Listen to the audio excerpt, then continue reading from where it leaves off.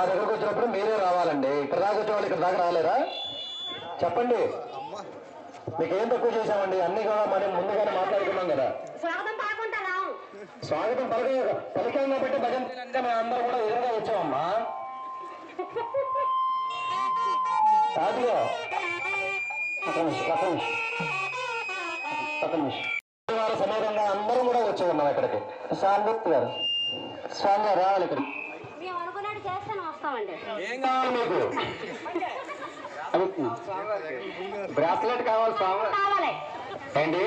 కట్నాలు కాకుల నిలువెత్తు బంగారం అండి ఇక్కడ. ఈ బంగారం బంగారం నేనకండి మీకు? అడుగుల బంగారం. ఆరున్నర అడుగుల బంగారం. అంతకన్నా ఎక్కువ నాయన. నిలువెత్తు బంగారం స్వామి నాయన.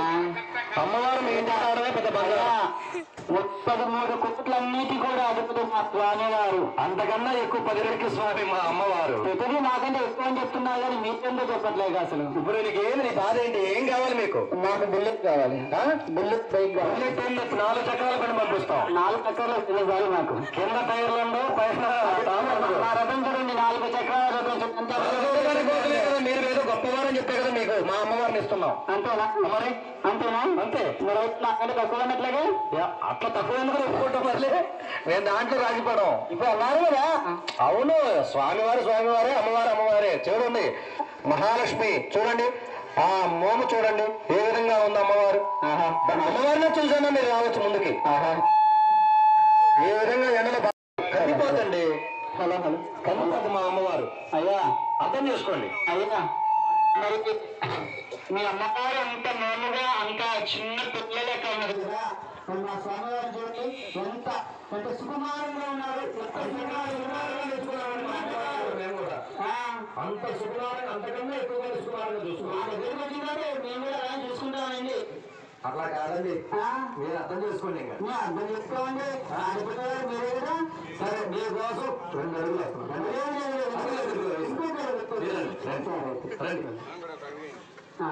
మరి కట్నాలు కానుకలు ఆడబిడ్డ కట్నాలు అన్నీ కూడా మీరు. మాట్లాడుకున్నారు ముందే చెప్పండి. మళ్ళీ ఒకసారి పది మంది చెప్పేస్తున్నాం. కారు బ్రాస్లెట్ ఇస్తారంట ఓకేనా ఓకే ఇప్పుడు అడ్వాన్స్ ఏమైనా ఇస్తున్నారా కళ్యాణం ముందే అంత ఖర్చు పెట్టి చేస్తుంటే కళ్యాణం చేస్తున్నా ఆకాశం అంత పందిరి భూమి అంత పీట వేసుకు మేము కళ్యాణం మహావైభవంగా జరుపుతున్నాం స్వామివారు రావాలి ముందుకి అయ్యా ఆకాశం పండుగ గోదావరి పండుగ రెండు కూడా ఎవరు వస్తున్నారు రాకుండా వస్తారు చెప్పండి? వస్తారనే కదా వేసింది వచ్చేదిరా మీరు కొంచెం అన్ని కిలోమీటర్లు ప్రయాణం చేసి ఎలాగ వచ్చారు. ఎక్కడి నుంచి అలసిపోయి అంత అలసిపోయి వస్తే స్వామివారిని ఎత్తుకోలేద్దామని లేకపోతే అన్ని వస్తున్నారండి మీరు వచ్చాను వచ్చాను మీరు రాలేదు కాదండి. ఈత గీసామండి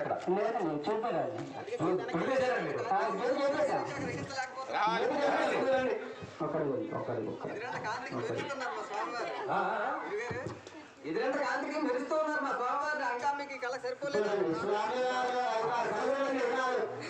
ఎదురంత కాంతిలో బంగారు చెప్పింది.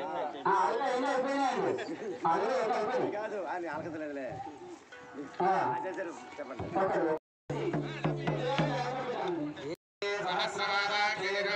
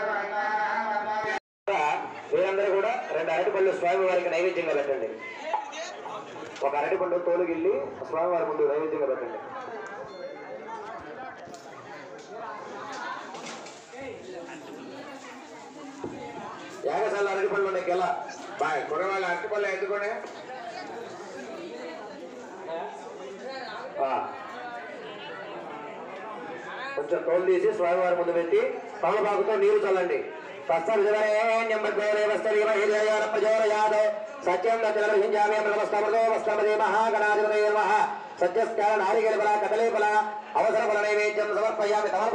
ఐదు సార్లు ప్రసాదాన్ని స్వామి వారికి చూపించండి ఓం ప్రాణాయ స్వాహ ఓం స్వాహ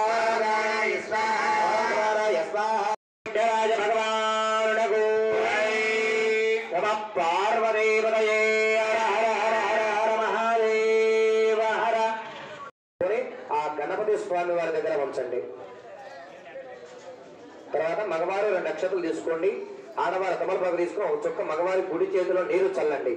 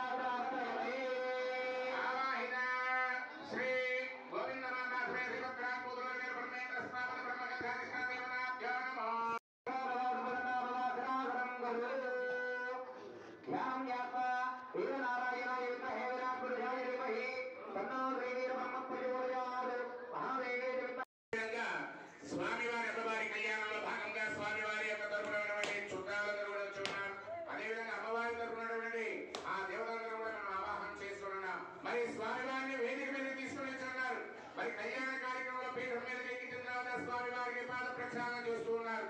మరి పాద ప్రక్షాళన కార్యక్రమం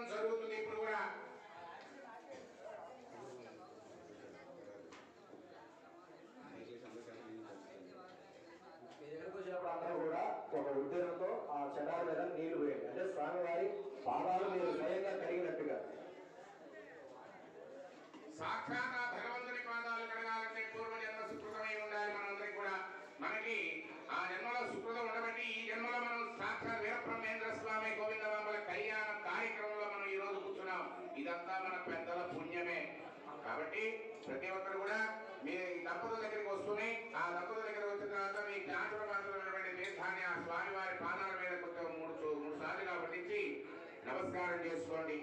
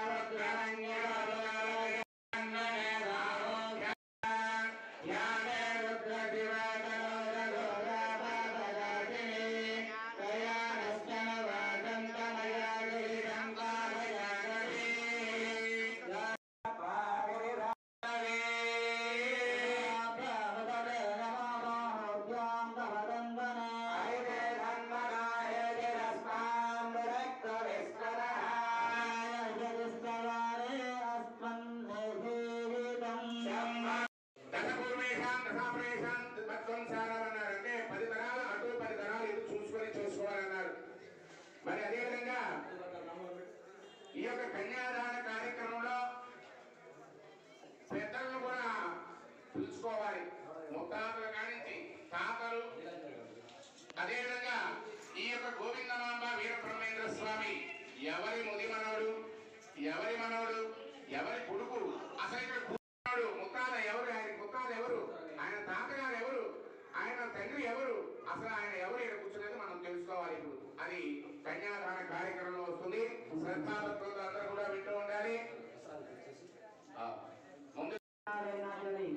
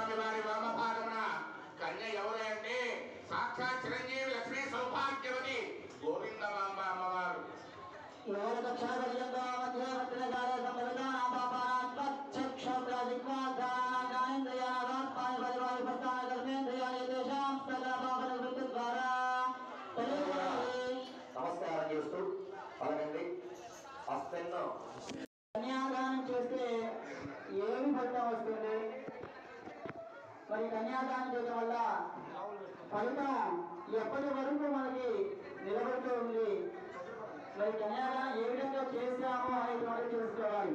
కన్యాదానం ఏ విధంగా చేశామో ఇందాక చెప్పారు. మనోమయ కష్టశిల్పి విశ్వజ్ఞ పంచ బ్రహ్మగా తగిలిపోతే అంటే ఐదుగురు బ్రహ్మలు చూస్తూ ఉండగా అదేవిధంగా అంగ వంగ గలింగ కాశ్మీర కాంబోజ గంభీర సౌరాష్ట్ర మహారాష్ట్ర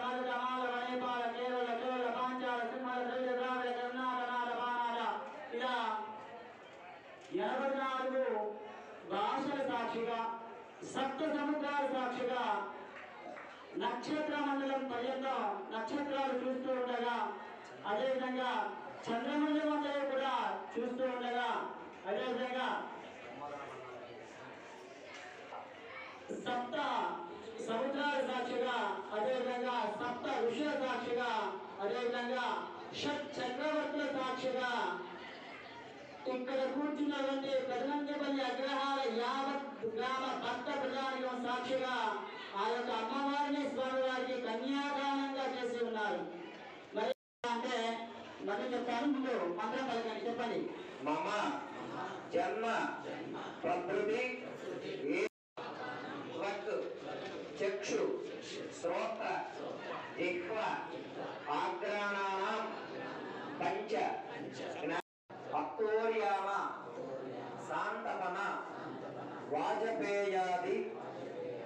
శతక్రతు. శతక్రతు. పుణ్యఫల. వాక్యార్థం. మయ అపరేషాం మత్ వంశానాం. ఇప్పుడు మీరు ప్రమాణం చేశారు. ఏమని చేశారు? మయా దశ పూర్వేశ మయా దశ అపరేష మధ్వంశాన పితృణాం కారణాయ అంటే నాతో కూడుకున్నటువంటి మా తాత ముత్తాత వాళ్ళ నాన్నగారు వారి నాన్నగారు ఈ విధంగా వెనక ఉన్నటువంటి పది తరాలు. అదేవిధంగా నాకు రాబోయేటువంటి ముందు పది తరాలు నాతో కలిపి మొత్తం ఇరవై ఒక్క తరము శాశ్వతమైనటువంటి శివలోక సాయుధ్యం పొందే విధంగా ఈ యొక్క అమ్మవారిని ఇక్కడ ఒక కన్యను దానం చేస్తున్నాను అని చెప్పేసి ప్రమాణం చేశాం. అదేవిధంగా మరి ఇందాక అన్నట్టుగా మరి కన్యాదానం చేస్తే ఏం ఫలితం వస్తుంది? అందుకే పుత్రుడు అంటే కుమారుడు జన్మిస్తే వంశము మాత్రమే అభివృద్ధి అవుతుంది. కానీ ఒక ఇంట్లో ఒక ఆడపిల్ల పుడితే లక్ష్మీదేవి వచ్చింది అంటాం. మరి ఈ యొక్క అమ్మవారిని మనం కన్యాదానం చేస్తే ఏమవుతుందంటే తొలగి సూర్యమండల పర్యంతో అంటే పిల్లలు అంటే నల్ల నువ్వులని సూర్యుని దగ్గరికి ఆ యొక్క సూర్యమండలం ఎత్తుగా ఒక రాశిగా పోసి సంవత్సరానికి ఒక గింజ ప్రమాణంలో సంవత్సరానికి ఒక గింజ ప్రమాణంలో తీస్తూ ఉంటే మరి ఆ యొక్క రాశి ఎన్ని సంవత్సరాలు తగ్గిపోతుంటే ఎన్ని సంవత్సరాల కాలం పడుతుందో అన్ని సంవత్సరాల కాలం ఈ యొక్క పుణ్యవ్రతం కేవలం కన్యాదానం చేయడం వల్లనే వస్తుంది.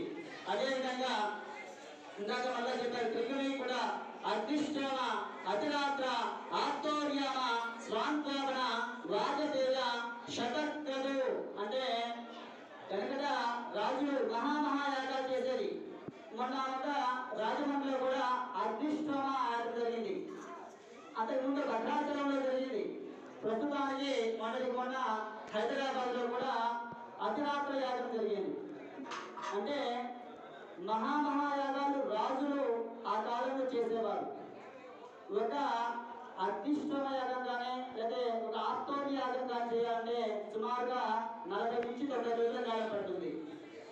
వారు అది యొక్క చేసేటువంటి ఆ యజ్ఞ కర్త అంటే ఎవరైతే యజమాని ఉంటారో మట్టి పాత్రలో భోజనం చేస్తారు.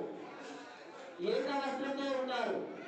అత్యంత కఠినమైనటువంటి నియమ నిష్టలతో చేసేటువంటి మహత్తరమైనటువంటి అటువంటి యాగం చేస్తే ఎన్ని జన్మల ఫలితం వస్తుందో కేవలం ఒక కన్యాదానం చేస్తే లభిస్తూ ఉంటుంది. చివరిలో చెప్పారు సహిరణ్యాతగా సాలంకృత కన్యాదానం ప్రతిపాదయామే అంటే నేను నా యొక్క కుమార్తెకు ఈ యొక్క కన్యను దానం చేస్తున్నాను ఏ విధంగా చేస్తున్నా అంటే మరి సహిరణ్యాలుగా బంగారంతో కూడుకున్నటువంటి రూపమై ఉదకం చేత నీటి చేత నీకు అత్త చెబుతున్నాను అని మాత్రమే ఇక్కడ ఆ యొక్క కన్యాదానం చేస్తాం. చూసారా మగపిల్లవాడు పుడితే వంశాభివృద్ధి అవుతుందే కానీ ఇంత ఫలితం వస్తుందా అంటే చెప్పలేము రామాయణం చెప్తున్న విధంగా ఏంటంటే ఒక రాని ఒక ఆడపిల్ల మన యొక్క ఇంటిలో జన్మిస్తే అష్టలక్ష్మి స్వరూపంగా భావిస్తూ ఆ యొక్క ఆడపిల్లని మనం కన్యాదానం కింద చేస్తే ఇన్ని రకాలైనటువంటి పుణ్య ఫలితాలు ఫలితాలు సుకృతాలు లభిస్తాయి అంటే ఎవరికైనా అదృష్టం ఉంటే తప్ప ఆ యొక్క కన్యాదానం చేసే అవకాశం లభించదు అంటాం మేము. ఎందుకంటే కన్యాదానం చేసినటువంటి గృహంలో ఎప్పుడూ కూడా శాశ్వతమైనటువంటి వంశాభివృద్ధి అంటే ఖచ్చితంగా నలుగురిల వారు పుడతారు దానికి తోడు పక్కన ఆడపిల్లలు పుడతారు. ఈ విధంగా ఇద్దరు కూడా జన్మిస్తూ వంశము చిరకాలము కూడా అంటే ఆ యొక్క సూర్య చంద్రాదులు ఉన్నంత కాలం ఆ యొక్క వంశము అభివృద్ధి చెందుతూనే ఉంటుంది. ఈ యొక్క కన్యాదానం చేస్తే వచ్చేటువంటి ఫలితం అంతటి ఫలితం అన్నమాట. ఓకేనా? ఆ ఇప్పుడు ఆ యొక్క స్వామివారి అమ్మవార్లకు గుణజీలకరణ అంటే జీలకర్ర బెల్లం పెట్టేటువంటిది. తెలుసు కదా మన వివాహాల్లో కూడా జీలకర్ర బెల్లం పెడతాం. ఎందుకంటే ఏదైనా ఒక శుభముహూర్తం ఒక లగ్నం అనుకుంటే ఆ లగ్నానికి దంపతులు ఆ యొక్క కన్య ఆ యొక్క వరుడు ఇద్దరి యొక్క సహస్రాలు నడినెత్తి మీద ఉండేటువంటి యొక్క సహస్రాల రంధ్రం మీద ఏక ముహూర్తానికి ఆ యొక్క జీలకర్ర బెల్లాన్ని రెండు ఒకే సమయంలో ఒకరి తల మీద ఒకరు స్పృశించుకోవడం వల్ల ఆనాటి నుండి వారికి బ్రహ్మజ్ఞానం అనేటువంటిది ఉత్పన్నం అవుతుంది శరీరంలో. కాబట్టి ఉంటారు? మరి ఈ యొక్క జీలకర్ర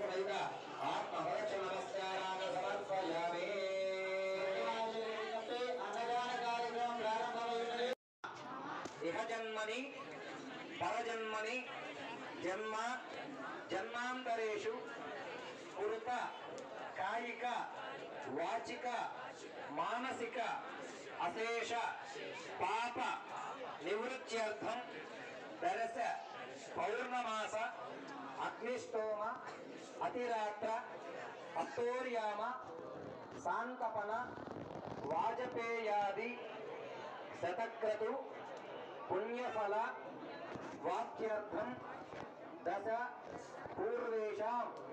దశ సహస్ర సువర్ణ రజత అలంకృత సవత్స.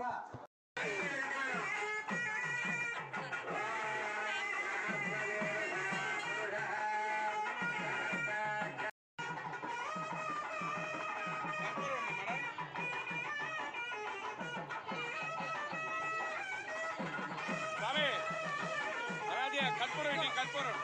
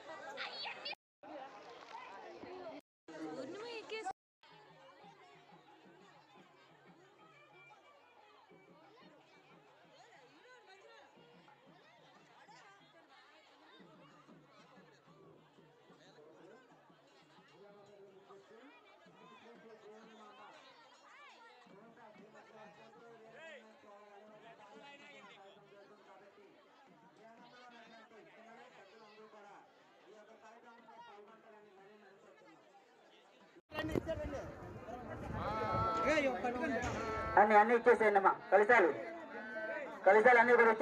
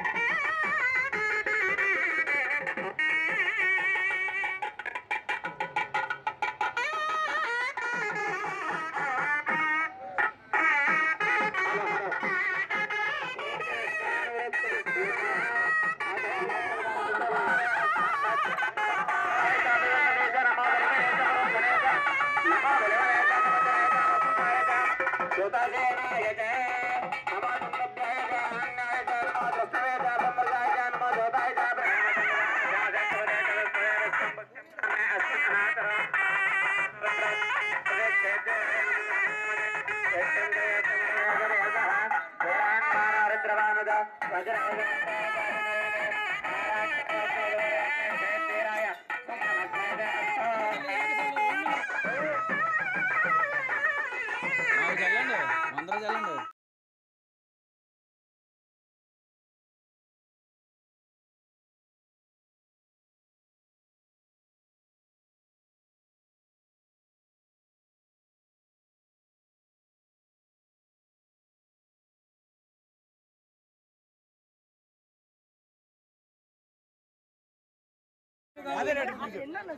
గట్టాల సెంటర్ గుమ్మడికాయ. గుష్మాన్న పరిహారం చేసి దిగాలి ఆ, అక్కడ వస్తున్నా గారు దగ్గర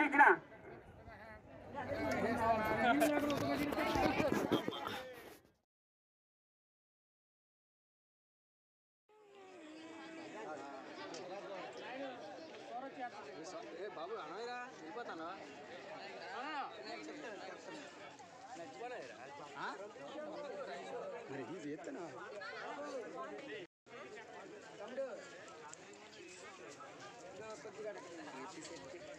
ఎవరినైనా